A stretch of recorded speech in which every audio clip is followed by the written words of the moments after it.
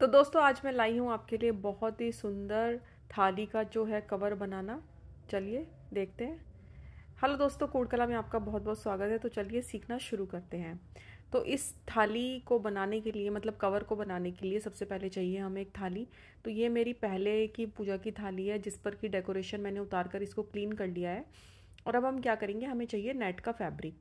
तो यहाँ पर हमें दो कलर की नेट चाहिएगी और उसका और हमारी थाली का जितना साइज़ है ना, लगभग उससे पाँच पाँच इंच एक्स्ट्रा मतलब पाँच इंच एक्स्ट्रा और लेकर आप जो है दो सर्कल कट कर लीजिएगा। दोनों अलग अलग कलर्स के हमें करने हैं। अब उसमें से एक कलर का जो सर्कल है हमने ले लिया तो यहाँ पर मैंने पिंक कलर वाला सर्कल ले लिया और देखिए उसको इस तरीके से फोल्ड कर लिया। फोल्ड हम यहाँ पर इसलिए कर ले, कर रहे हैं क्योंकि हमें यहाँ पर इसकी जो बीच वाला हिस्सा है, वहाँ पर हमें इसकी कटिंग करनी है। तो यहाँ पर हम कैंची से जो है इसको कट कर देंगे। सर्कल आप दोनों बराबर लीजिएगा।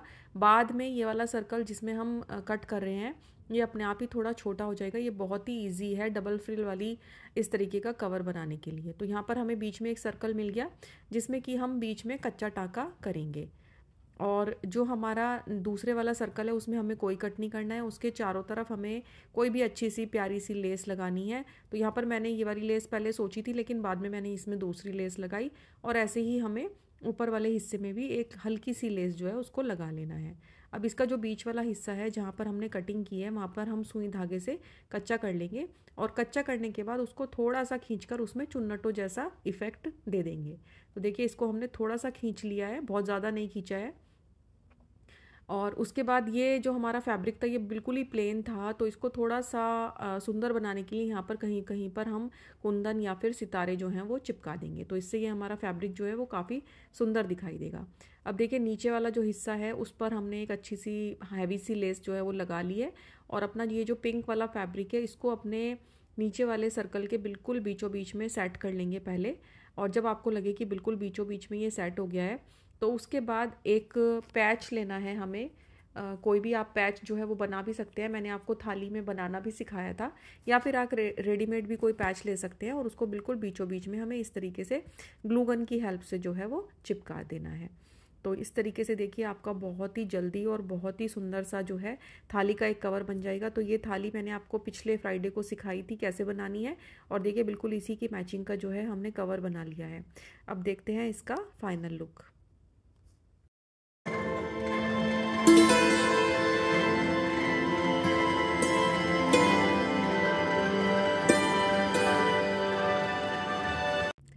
तो दोस्तों, इस तरीके से आप थाली का कवर और उस थाली का जो नीचे का हिस्सा मैंने सिखाया था, आप वो बना कर रख सकते हैं। कई बार हमें त्योहारों पे टाइम नहीं होता है तो ये चीज़ें आप पहले ही बना के रख सकते हैं और इसमें आपकी कोई थाली भी ख़राब नहीं होने वाली है। बस आपको ये कवर बनाना है, जो मैंने आपको पिछले फ्राइडे को बनाना सिखाया था, इसका लिंक मैं आपको डिस्क्रिप्शन बॉक्स में दे दूँगी और ये कवर भी आप साथ में बना के रख लीजिए ताकि जब जब भी आप मंदिर जाएँ या फिर किसी को बायना देने जाएँ तो सब लोग पूछें, आखिर ये तुमने बनाया कैसे? साथ ही मैं आपको सिखाने वाली हूँ आज ये लोटे का कवर। तो ये भी बहुत ही मज़ेदार जो है डीआईवाई है, क्योंकि इसमें हमें लोटे पर कुछ भी नहीं चिपकाना है। जब मन किया लोटे पर इसको, कवर को चढ़ाया और जब मन किया उतार दिया। तो उसके लिए मैंने यहाँ पर ले लिया है एक लोटा और साथ ही ले लिया है एक फैब्रिक। तो फैब्रिक हमें थोड़ा सा एक्स्ट्रा लेना है, जितना हमारे लोटे की लंबाई है, उससे थोड़ा सा ज़्यादा।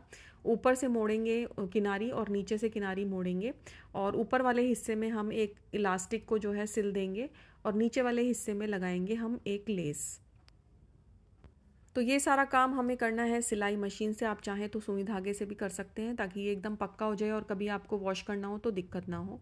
देखिए, ऊपर वाले हिस्से में हमने एक इलास्टिक का टुकड़ा जो है वो इस तरीके से सिल दिया है और नीचे के हिस्से में हमने एक लेस लगाई है। तो जैसे इलास्टिक हमने जिस साइड से सिली है, मानी कि बाहर के साइड से, और लेस को हमें अंदर की साइड से लगाना है। वो क्यों लगाना है, वो आपको वीडियो में आगे समझ में आएगा। तो इसके बाद हम क्या करेंगे? दोनों इसके किनारों को इस तरीके से लेंगे और इनको भी आपस में सिल देंगे। और उसके बाद एक इलास्टिक और लगानी है तो देखिए वो आपको यहाँ पर समझ में आएगी। यहाँ पर हमने इसको सिल लिया है तो दोनों किनारों से हमने इसको जोड़ लिया है। और ये देखिए, इसमें मैं आपको पलट के दिखाती हूँ। जो हमने पहले वाली एक इलास्टिक लगाई थी, वो सबसे ऊपर लगाई थी और सबसे नीचे हमने लगाई थी लेस। उसके बाद देखिए, यहाँ पर बीच में, यानी कि लेस से लगभग एक इंच के नीचे हमने एक इलास्टिक का टुकड़ा और सिल दिया है। तो ये जो है हमारे लोटे का जो बन गया है कवर, अब हम इसको अपने लोटे के ऊपर चढ़ा कर देखते हैं। तो इसको हमें जिस साइड इलास्टिक हमारी अंदर की साइड है, वहाँ से चढ़ाना है तो जब आप ऐसे करेंगे तो आपकी जो लेस है ना, वो ऊपर की तरफ़ इस तरीके से बाहर की तरफ़ निकल कर आ जाएगी। उसके बाद हमें लेना है, कोई भी आप, मैंने तो यहाँ पर शनील का कपड़ा लिया है, आप कोई भी पट्टी बना सकते हैं। तो ये थोड़ा सा छोटा रह गया है तो मैंने थोड़ा सा बड़ा एक और दूसरा कपड़ा ले लिया है और उसके बीच में मैंने यहाँ पर लगा दिया बुकरम की एक पट्टी और उसके बाद अपनी पट्टी को इस तरीके से चिपका कर जो है हम कवर कर लेंगे। उसके बाद इसके दोनों हिस्सों पर लगा दी है मैंने वेलक्रो टेप तो इसको भी अब अच्छा होगा, आप सिल लें। तो ये देखिए वेलक्रो टेप जो है, हमने बिल्कुल किनारों किनारों पर लगा दिया और अब इस पट्टी को थोड़ा सा डेकोरेट करने के लिए यहाँ पर हम लगा देंगे एक बहुत ही सुंदर सी लेस तो ध्यान रखिएगा वेलक्रो टेप के ऊपर हमें इसको नहीं लेके जाना है, नहीं तो फिर आपको अपने इस पट्टी को चिपकाने में दिक्कत होगी। तो यहाँ पर मैंने एक ये मिरर वर्क की बहुत ही खूबसूरत सी लेस जो है वो लगा दी है जिससे कि इसमें नीचे की पट्टी का कलर भी दिखाई दे रहा है। तो ये हो गई हमारी पट्टी तैयार।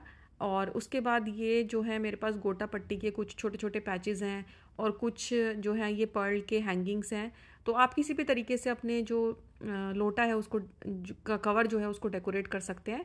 तो मैं यहाँ पर इसी तरीके से इसके ऊपर चिपका रही हूँ, क्योंकि स्टील के ऊपर जब भी हम ग्लूगन लगाते हैं ना तो वो बहुत ही आसानी से उतर जाती है। देखिए साथ साथ ही मैं इसको अंदर से इस तरीके से खोल कर उतार रही हूँ, ताकि जब भी हमें इस कवर को उतारना हो तो हम इजीली इसको उतार सकें।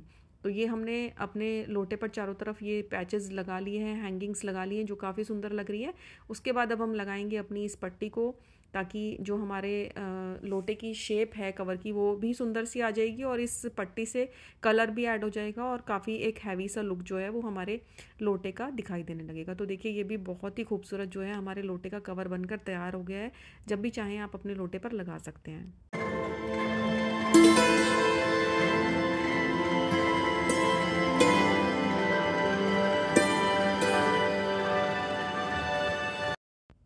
तो है ना दोस्तों, आज की वीडियो बहुत ही इंटरेस्टिंग और बहुत ही यूज़फुल तो आपको ये वीडियो कैसी लगी मुझे कमेंट करके ज़रूर बताइएगा। पहली बार मेरे चैनल पर आए हैं तो उसे सब्सक्राइब करके बेल आइकन का बटन ज़रूर प्रेस कर लीजिएगा। ऐसी बहुत सारी वीडियोस देखने के लिए आप मेरे चैनल की प्लेलिस्ट जो है वो चेक कर सकते हैं। ऐसी वीडियोज़ मैं अपने चैनल पर अपलोड करती रहती हूँ। फिर मिलेंगे अगली वीडियो में। तब तक के लिए बाय